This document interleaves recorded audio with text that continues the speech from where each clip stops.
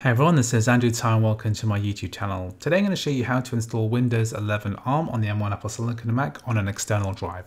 So lots of people have been asking me in the past or my previous tutorials about how to install Windows Alarm externally from a USB solid state drive. And the reason for this is that they want to keep their macOS and Windows Live separate.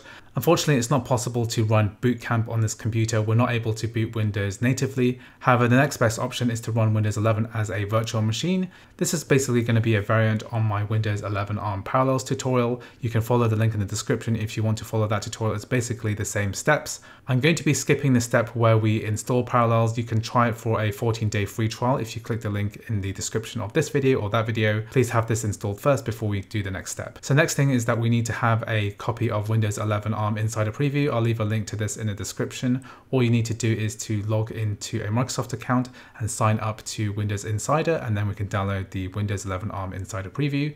This is build 22454. So we need to open up the Parallels software which we've installed in the applications folder already if you followed my previous tutorial.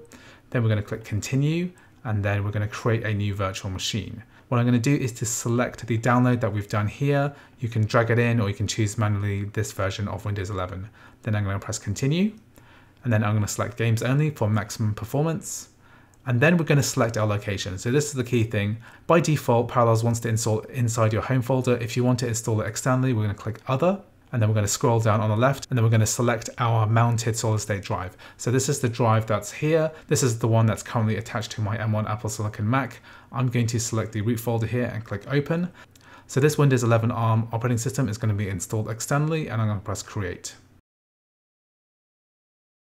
So this is just giving us a warning that the virtual machine files are hosted externally. So if you actually disconnect your solid state drive by accident, even if you accidentally knock the cable, then this has a chance of corrupting the file. So just be very careful while you're running the virtual machine not to touch your solid state drive.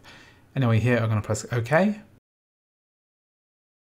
So anyway, this installation is now complete and we can use this Windows 11 virtual machine as normal. So this is all running from this external drive. So be very careful of how you manage this. If you want to see another tutorial about how to move this virtual machine to an internal drive or to a different solid state drive, please check the link in the description. Anyway, I hope you found this video useful. If you did, please like and subscribe and I'll see you in the next video.